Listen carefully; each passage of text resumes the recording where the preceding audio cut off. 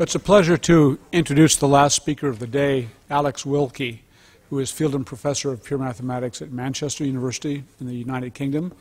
And he's going to speak to us about the relevance of logic to transcendental number theory. And we very much look forward to this talk. Thank you, Alex.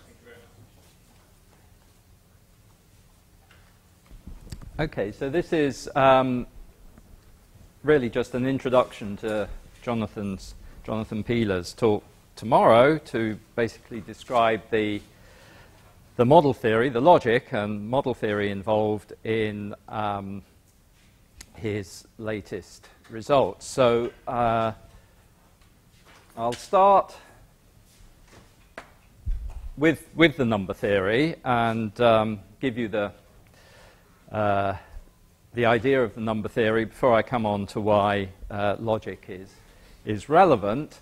So let's start with the, um, what we could call the, well, now justify as calling the Bombieri-Pila, or what I'll call theory, uh, which is, there's many papers, I think starting from 1989, still going, um, and the basic goal of this theory um, is the following. Uh, find upper bounds uh, for the density um, of rational points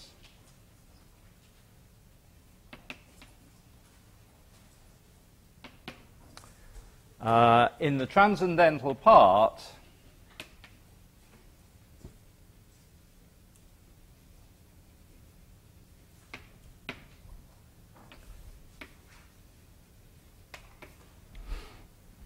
of a set X,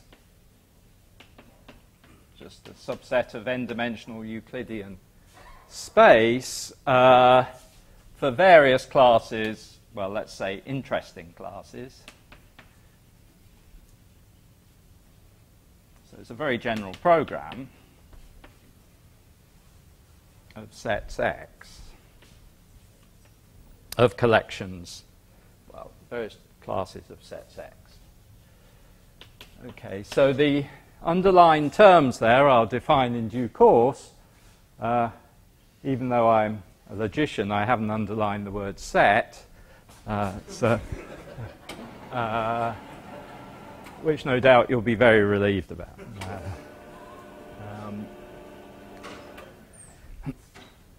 Um, okay, so that's the goal. I'll leave the definitions of density and transcendental part for a little while. I first have to define heights, which I'm sure most of you know about, but let's just fix our ideas. And then in terms of these heights, we'll define that term density.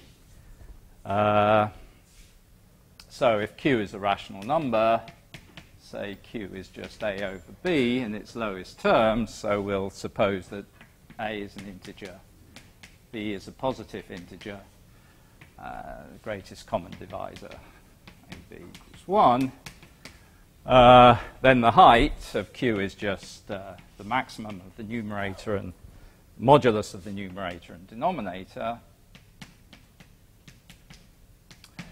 And um, uh, for a tuple, we just take the maximum of the heights of the coordinates. Uh, everything here can be done for algebraic number fields as well, um, but I'm going to stick to rational numbers for the the entire talk. So uh, just the height of the tuple is just the maximum of the heights of the entries there. okay, so um, so now for uh, probably best to do the other one, yeah.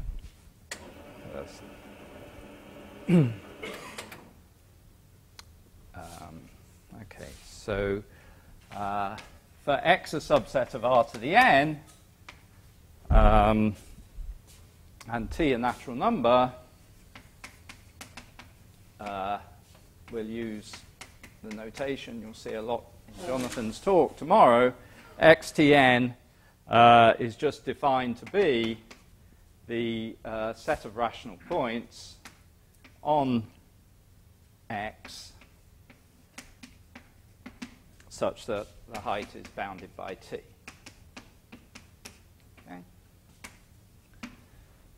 Okay. this talk is not particularly sensitive to that definition of height. There are, of course, many in algebraic number theory, but uh, this is fine for us. Okay, so um, so the the density we really mean uh, the rate of growth, the density of rational points on X. We mean the rate of growth of the cardinality of that set, which is obviously a finite set, as t tends to infinity. So that's the the aim of the theory. Um, now the trouble is. Um, X may contain lots of subsets that obviously have many rational points on. For instance, if n is greater than or equal to 2, it may have lots of lines in it. Um, so we want to avoid those. Uh, this, this subject is not about uh, finding rational points on algebraic uh, curves and surfaces and so on. It's not about solving algebraic equations in rationals. It's more about finding bounds on the solutions of transcendental equations in rationals. So we, um, so we rule out uh, uh, the algebraic points. Uh, that requires some care. Um, so the goal, well, let me just say for the moment, the goal is the same as um, finding uh, upper bounds uh, or an upper bound for various x's for the cardinality um, of this set, uh, but not the set, uh, what we'll later call the transcendental part of the set. So we're not interested in rational points here on, on algebraic subsets. So um, finding upper bounds for that um, as t tends to infinity. And here, x trans is what I've called the transcendental part of x over there. Uh, so,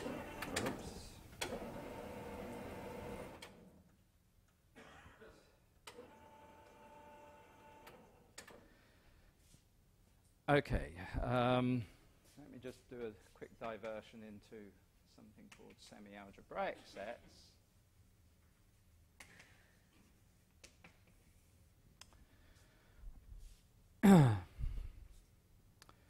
Okay, so uh, subset Y is called semi-algebraic. Well, we all know what algebraic means, just the set of solutions of a, um, a polynomial equation. Um, but over the reals, we, we take the ordering into account. So, um, so it's called semi-algebraic if it lies in the uh, subalgebra of subsets of R to the n um, containing, so the small, uh, well, the smallest subalgebra subsets of R to the n containing uh, both the zero sets of polynomials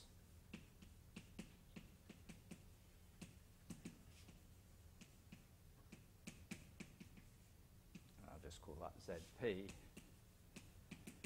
And the positivity sets of polynomials, no, I'll call it ZQ because I'm just going to use P. and the positivity sets uh, of polynomials.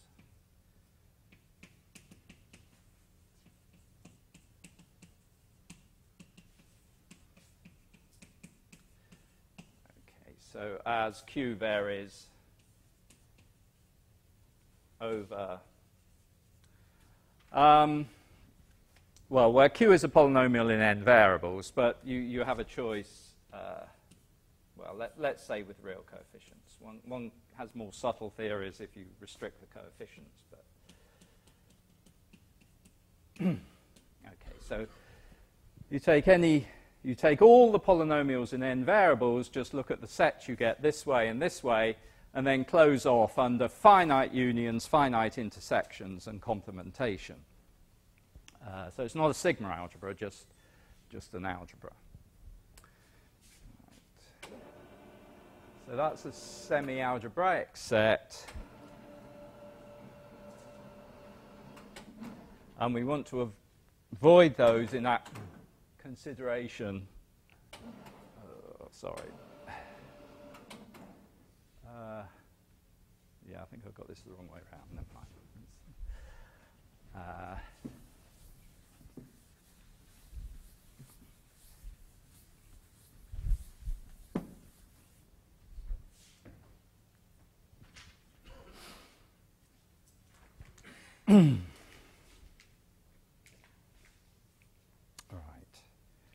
um, in our consideration of rational points. So uh, for x,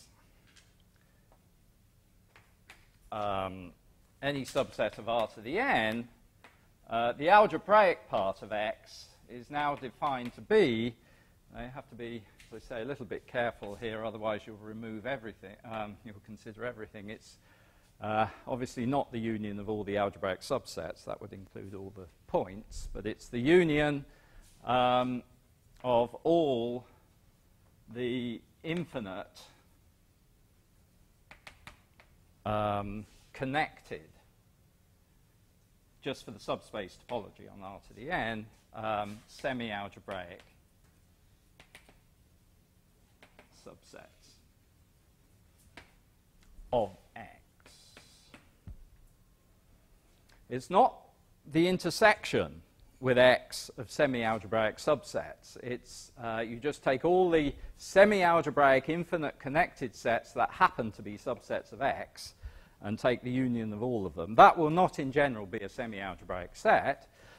Um, for example, uh, if you just take the set of solutions of xy equals z, uh, the semi-algebraics, the algebraic part of this is the union of all the um, x, y, z you get when y is rational and x to the y equals z. So uh, it's definitely not a semi-algebraic set. Okay, and then, so now I, I just define the transcendental part of x is just defined, just defined to be x minus the uh, algebraic part. Okay, so we've got through giving all the definitions of the general goal of the Bombieri-Pila theory. So let me give. Except the word interesting. Ah, except the. okay, so I'm just coming up to that. And, uh, right, so the first um, uh, result was in, I believe, answer to a question of Peter Sarnak. Um, uh, so interesting for us is, uh, well, okay, here we go.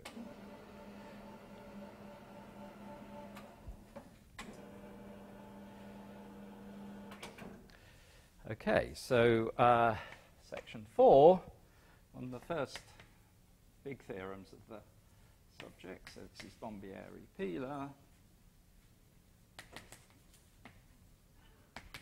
As I say, in response, I believe, to um, a question of Peter Sarnak, uh, well, I'll phrase it, probably didn't say it exactly like this, but this is sort of what it amounts to. Um, so let so we're going to look at the question of when an analytic function, an analytic non-algebraic function, takes rational values for rational arguments of given height. Okay, so that's what this theorem's about. So let f from 0, 1 to r be a transcendental uh, transcendental um, real analytic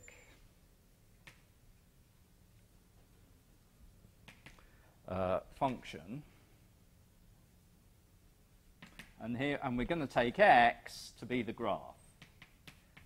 So um, uh, the graph of f. So just all the pairs x, f of x. Um, okay, transcendental means it just doesn't satisfy any equation p of x, f of x equals 0 um, on any interval uh, where p is a polynomial. Real analytic just means around every point, and it's important that 0 and 1 are included here. Around every point, uh, it converges to its, uh, or it's equal to its convergent Taylor series. Um, that's really, although you have different Taylor series about different.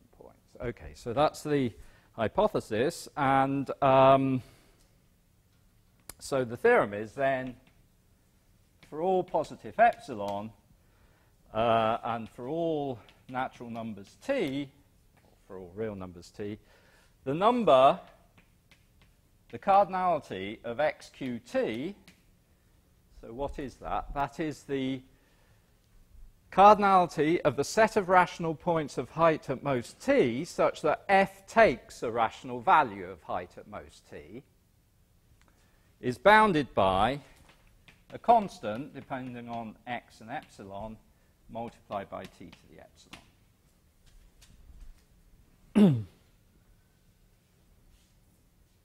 okay, so for every positive power of t, the number of rational points of height at most t at which f takes a rational value of height at most t is bounded by t to the epsilon, constant times t to the epsilon. Uh, it doesn't seem, perhaps at first sight, that great. Perhaps you were hoping for log t or something like that, but that's not true. This is best possible. Well, in a suitable sense. You, you can't put any function of t here that goes to 0. oh, well, yeah. yeah. um, I mean, in general, that works for all x. Uh,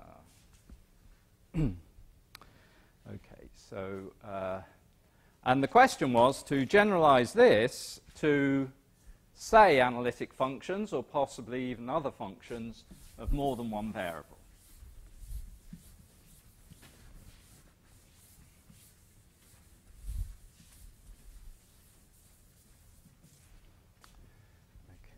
Problem, extend this result to, um, well, let's say real analytic. You might want to generalize that a little bit, but you certainly can't go to C infinity here. Um, to real analytic functions uh, f from 0, 1 to the n to r. um, and you'd want the same bound.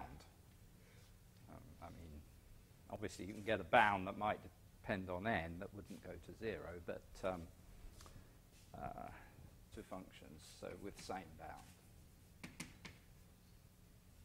So that was the question that time, and there were several papers just after 1989 that uh, did things for two variable functions and various other variations of that, but um, uh, not, not the general case.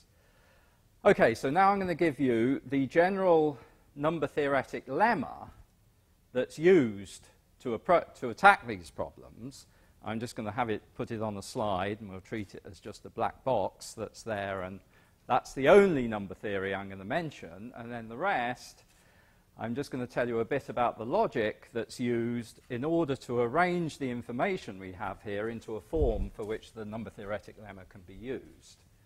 Okay, so there's kind of the two parts of the talk. The number theoretic part, which I'm going to give now, explain in about five, ten minutes, and then show how the information, as I said, can be arranged to make it work. So, uh, so this is section five, uh, number theoretic lemma. So this is uh, the key Bombieri Pila result.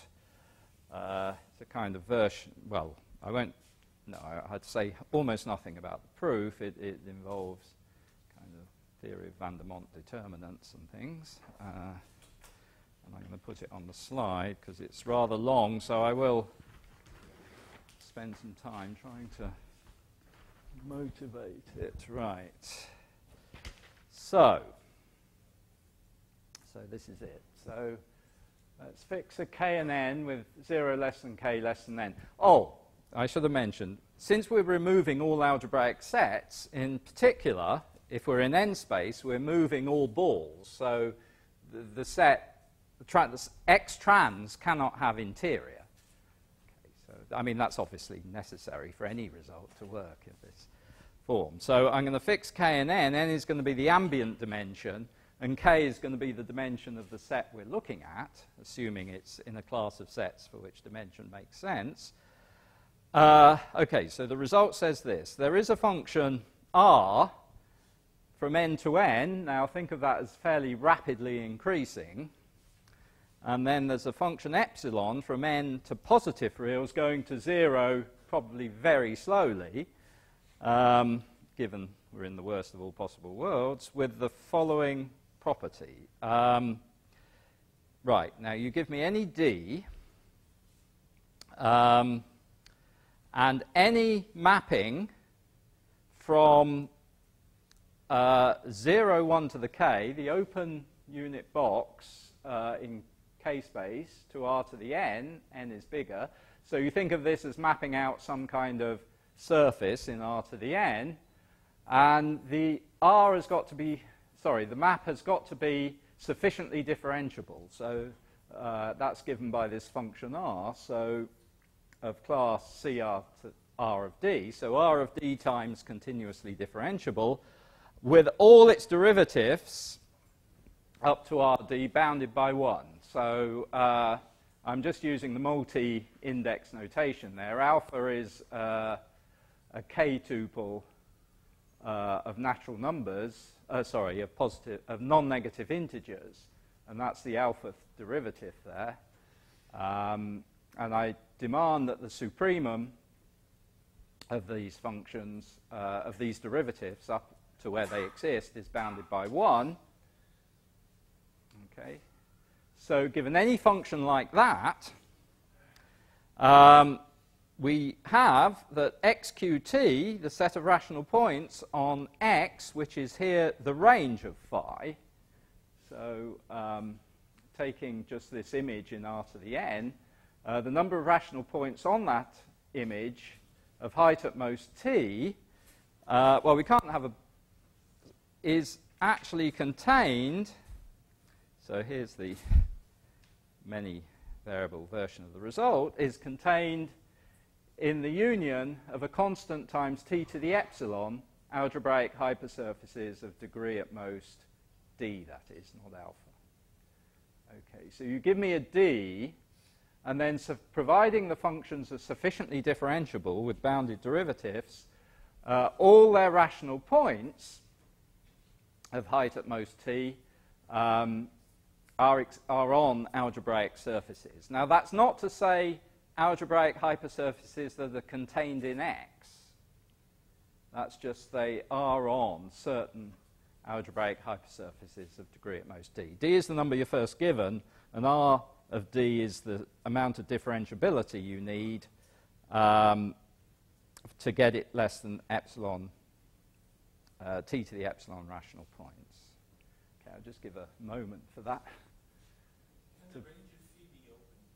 Uh, no, because, no, because um, k is strictly less than n.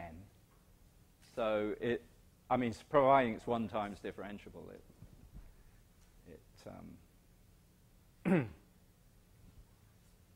yeah, I suppose we need k at least, yeah, k is at least one. So, uh, oh, sorry, the, the amount of differentiability will guarantee that it'd be a strictly lower dimensional thing. Okay, so, um, but that uh, doesn't, actually, I can keep that there. Um,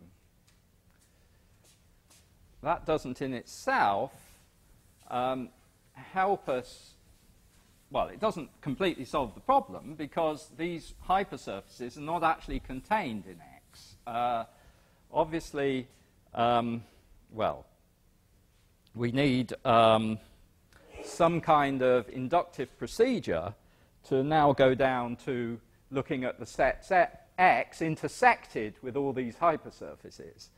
Um, okay, so let me just, so uh, to apply this, uh, to some, uh, let's say, y contained in R to the n, uh, well, we've got to do two things. We must, first of all, uh, represent y um, as um, the image, the range of phi for such a phi. Well, for the sets we're interested in, usually that will be given. Um, it'll be the image of a probably of an analytic function or something like that. Um, but the real problem is um, going to have to look at the original set intersected with an arbitrary algebraic hypersurface. So um, we've got to actually, in order to apply the lemma again, represent uh, y intersect h um, in this form as the image of a suitably differentiable function uh, where h is one of the of the uh, algebraic hypersurfaces. Oh, an algebraic hypersurface is just the zero of a polynomial here, right? Um,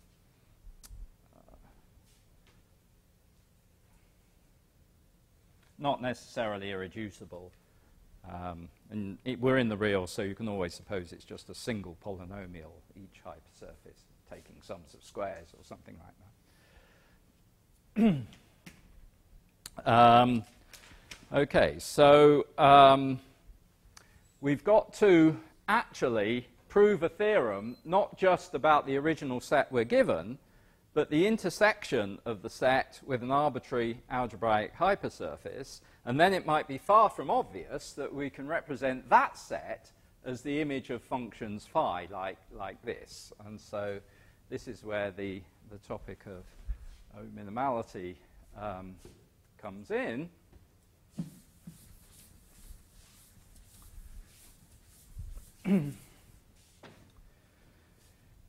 so, uh, 6, O minimal structures.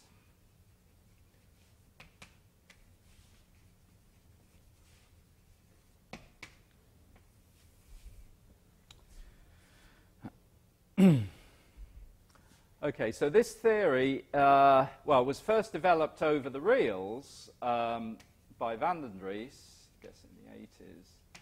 Uh, but then, uh, given the more general model theoretic context by Pillay and Steinhorn, uh, who studied it over arbitrary real closed fields and even more general uh, base spaces. Um, and it's actually important, in fact, uh, to do that for various uniformity results, but I won't get to do that. Now, um, yeah, this is rather a long definition, so um, I got this on the slide as well.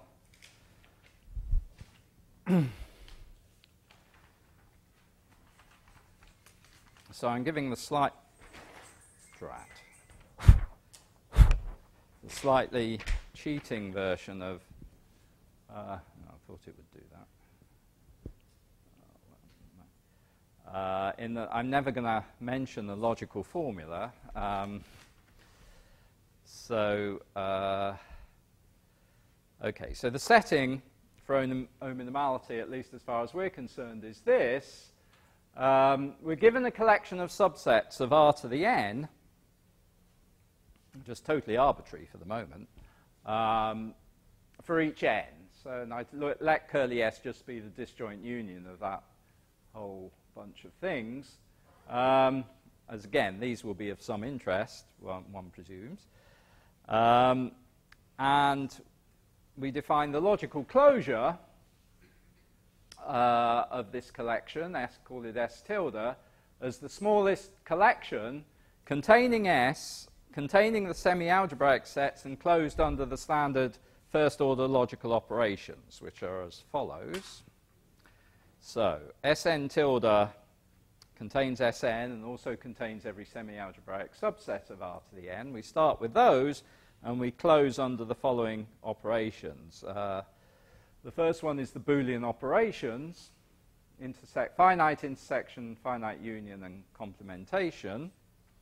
Uh, direct products, if A is a set in Sn tilde and B in Sn tilde, then we declare that A cross B has to be in Sn plus M tilde.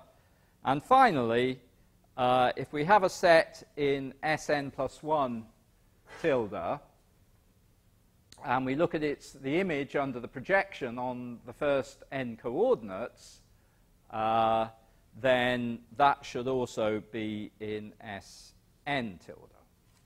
Okay. Now, what you do in logic is you actually introduce a language that describes these operations. Um, and it's much easier to give examples if, i if I do that uh, as to what sets you get in S tilde um, but I haven't really time here for that. So that's just, um, that so far is just the definition of logical closure of an arbitrary collection of subsets of R to the n for each n. Uh, what makes it O minimal, so this is the O minimality axiom, uh, that word or phrase comes from minim well, minimality, you'll see why in a second. The O just stands for order, meaning we're sort of interested in the order topology. Um, is the following. It's just a restriction on the sets we get in S1, so just the subsets of the real line. So we say the original collection S is O minimal if uh, the only sets that we get in S1 uh, are just finite unions of intervals, half open, half closed, open. Points count as intervals here. Uh, in other words, that we only get sets in S1 that have finitely many connected components. And the minimality refers to the fact that, well, we've got to have those because they're semi-algebraic. So um, uh, it says you don't get anything more in S1. It seems slightly ad hoc, but uh, it does have uh, considerable consequences. Um, for example, uh, oh, okay, so some logical terminology. Um, I'm only introducing this because I know I'm bound to say this word, and uh, um, uh, so I'll introduce it. If A is in, um, say, Sn tilde, um, we say uh, A is definable. And that's the logical word over, over S. So it just means you can get it from these operations um, from the sets in S and the semi-algebraic sets. Oh, another, uh, so that's one. And we say a function f or a map. Oh, no, no, sorry, a function. Um, f from R to the n to R is definable, is called definable, if its graph is. Um, if, in other words, its graph is a subset um, of R to the n plus 1, which is definable. Okay, so that's just some ter terminology. And um, Okay, just a few quick things one can prove, uh, just to illustrate the, the power of that O minimality axiom.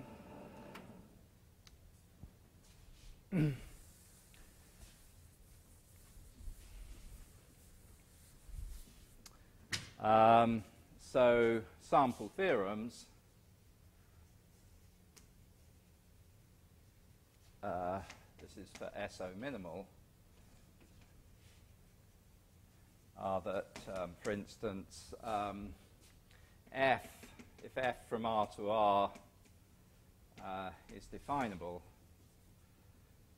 then it's uh, continuous at all but finitely many points, and even then f is uh, CR for any given R um, at all but finitely many points.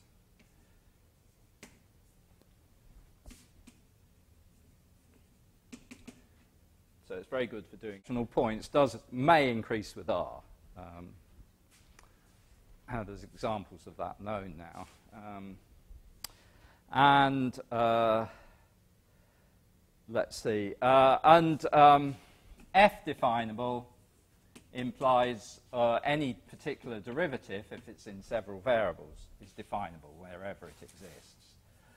Uh, if you use proper logical notation, that's actually um, fairly clear because you just use the usual epsilon delta definition of derivatives, and that can be expressed using, uh, using these operations.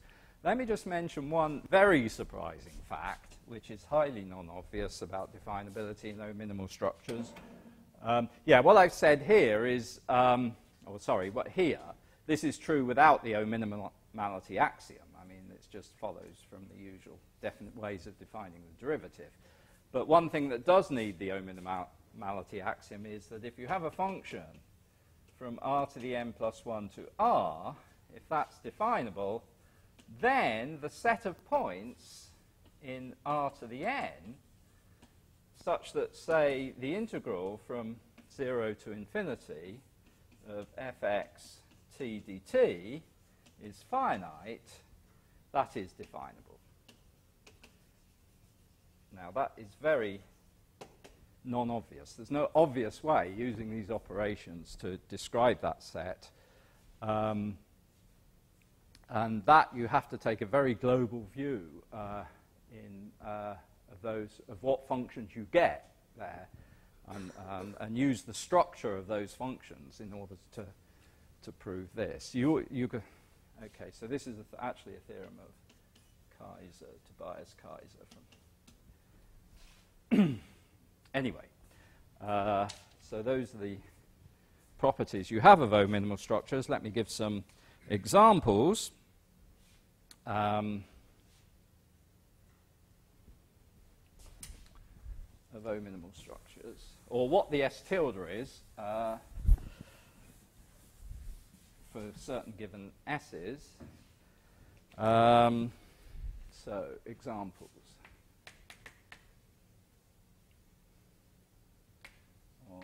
minimal Uh, well, of O minimality, the way I've described it, that have been established over the last 20, 25 years or so.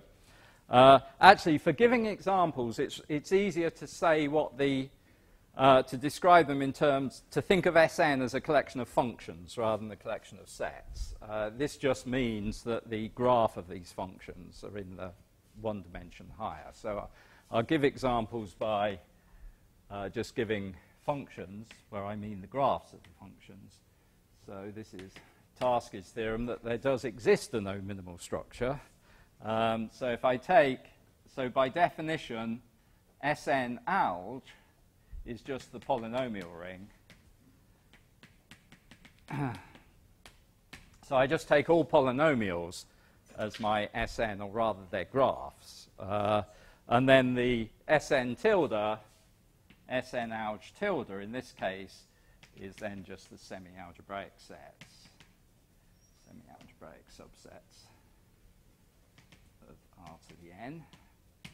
Uh, that's obvious. Well, that I get all semi-algebraic subsets is clear, but the fact, Tarski's theorem, is that that's all you get.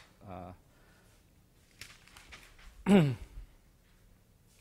uh, so a while back, I proved that if it, instead of just the polynomials, you take, so this collection I'll call SNX, if you take the polynomials not just in x1 up to xm, but they're exponentials, real exponentials, uh, that generates an O minimal structure. Um, here, the Sn tilde uh, turns out to be um, well, it's the actual projections of zero sets of exponential polynomials. So it's uh, difficult to describe, but uh,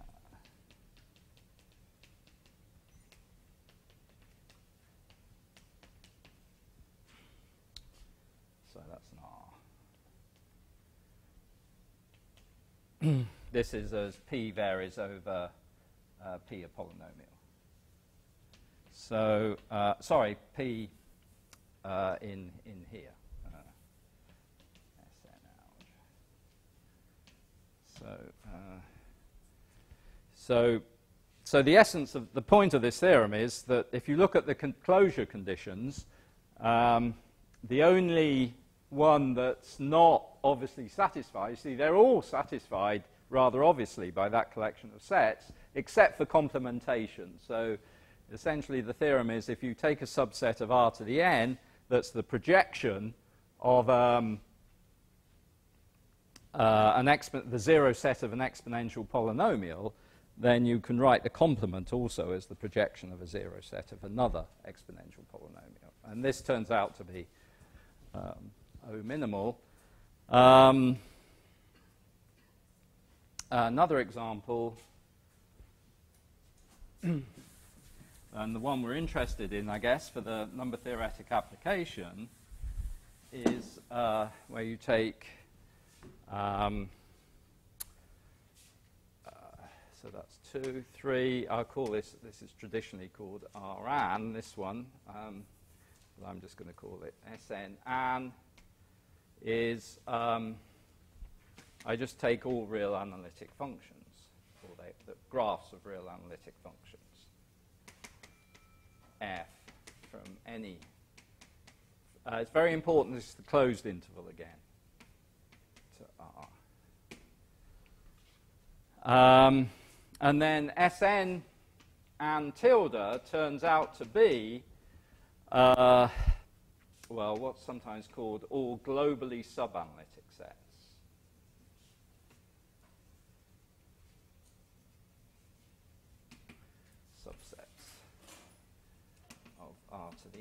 So, uh, yeah, the subanalytic sets are too big. I mean, they include the integers, for example, things like that. This is just all the, those subsets of R to the n, uh, which are still subanalytic when you consider them as subsets uh, of projective space R to the n. Or, um, so they're analytic at infinity as well as every finite point. Uh, so that uh, so this is a theorem. The fact that that equals that is due to Gabrielov. And then finally, you can put these theorem of Macintyre, Marker, and van den Dries uh, is that you can put these two together. So, uh, so we'll call Sn and X we can take, well, literally to be the union, uh, Sn and union Snx. So you can take all real analytic functions on, on compact boxes uh, together with the full exponential uh, function, with, um, the graph of which is not a globally subanalytic set because the exponential function is not analytic at infinity. Um, but you can, you still get no minimal structure. Um, so I won't say what the tilde is. It's rather complicated to define, but it is, you don't never get any subsets of the reals that are other than intervals and, and points.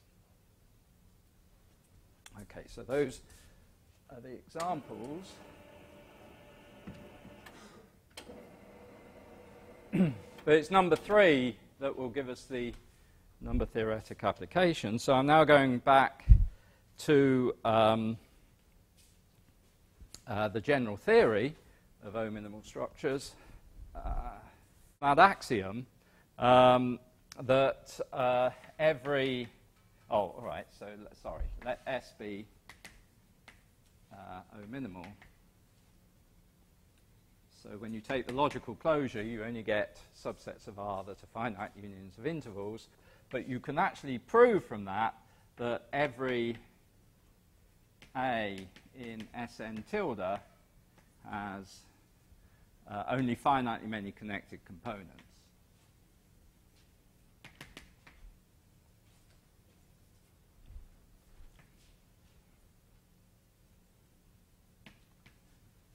By the way, if you want to see all the proofs of these facts, uh, then Van den Dries has a book called Tame Topology and O-Minimal Structures. Yeah. Okay, so uh, one can just prove from the assumption that subsets of R have only finitely many connected components, the power of logical definability, having that hypothesis for all logically definable sets from the original S, forces uh, this, that even uh, subsets of R to the n have only finitely many connected components. And the main result, perhaps, um, for the number theoretic uh, application is the reparam reparameterization lemma. Okay, so this should be the, this is the, probably the starting point of Jonathan's talk. This is due to Pila and myself. Um, so there's a, there's a theorem in subanalytic geometry uh, that says every subanalytic set can be expressed as a finite union of images under analytic functions of disks. Um, and this is a kind of generalization of, or rather, it's a version of that, the general O minimal structures. Um, oh, well, perhaps I should say that the many of the, well, at least qualitative finiteness theorems that you have for semi-algebraic sets and semi-analytic and sub-analytic sets uh, can be proved in the general setting of O-minimal structures. So you, so you get um, a lot of the theory of semi-algebraic sets and semi-analytic sets just from this O-minimality axiom. Um, okay, well, this is a bit like what's called the uniformization theorem. Uh, so it says the following, that x contained in R to the D be definable.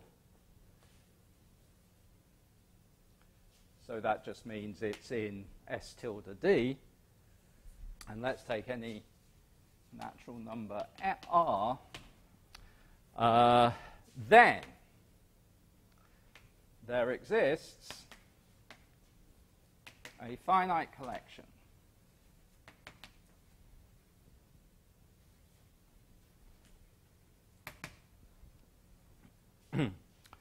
of definable CR functions. R times continuously differentiable uh, phi i of various numbers of arguments. So let's say mapping 0, 1 to the Ri to R to the D, i less than or equal to some actually very large natural number n such that A is the union of their ranges, sorry, X, X here, is the union of the ranges of these sets.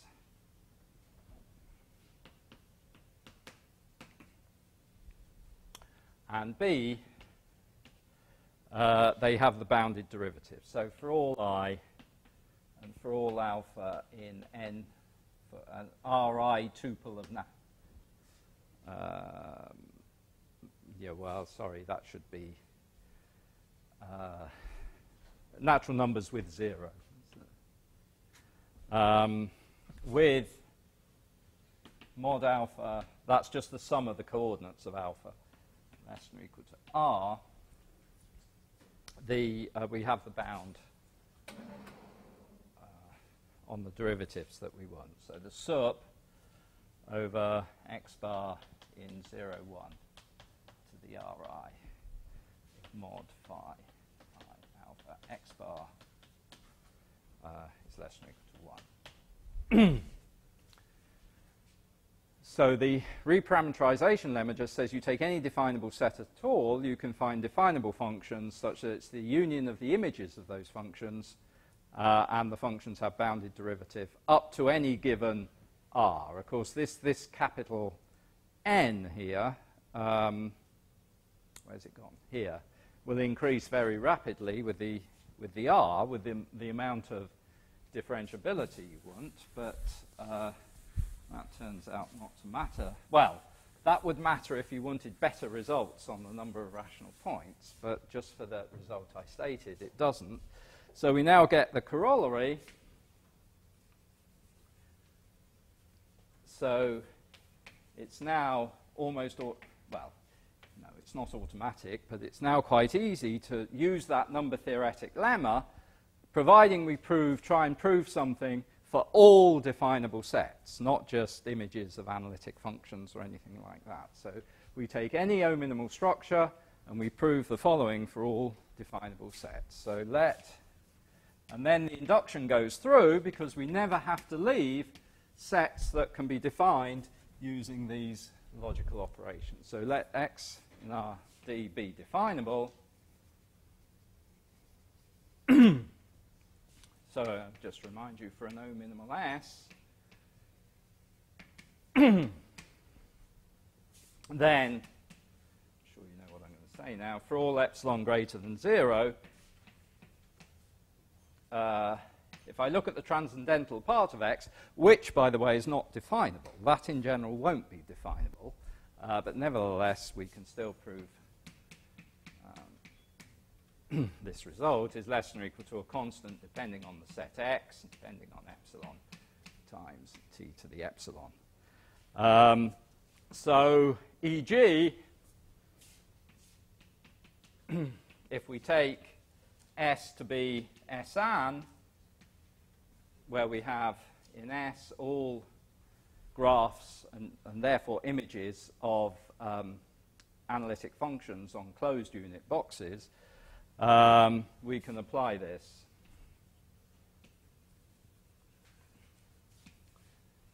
to um, x equal the graph of f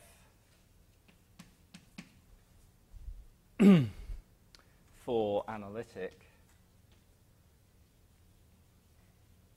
functions f um, to, to well, thereby solving the original problem that I stated, the Bombieri-Pila result for higher dimensions. But when, if you look at the proof, you'll have to go through many different definable sets that won't necessarily be the images of analytic functions, but you never actually leave the definable sets. Okay, thank you very much.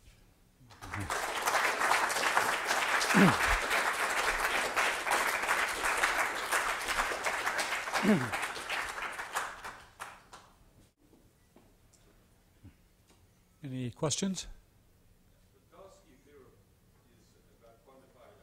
Yeah. So this, this really a generalization of that to Ah. Okay, now that's, that's an interesting point. It was, it was really van den Dries's observation that, well, there is an example going back to Osgood that shows, well, it's the example of a subanalytic set that's not semi-analytic, which can be seen as saying that this um, class Sn does not have quantifier elimination. Now, van den Dries's observation was that doesn't really matter that if for qualitative geometric results. The point is that it, it should be O minimal. When you close under definability, it doesn't matter that you can't eliminate the quantifiers. As long as you never get complicated subsets of the reals, uh, you still have all the nice geometric and topological properties you want. Uh, in fact, it's very hard to actually prove something is O minimal unless you have some elimination theory. Uh, but it doesn't have to be complete elimination down to the quantifier free sets. Like in, in Sn, you get elimination down to the ex- what we call existentially definable sets. The same is true for Sx. You get it down to existentially quantifiers, and and uh, that's usually enough to be able to prove uh, O minimality.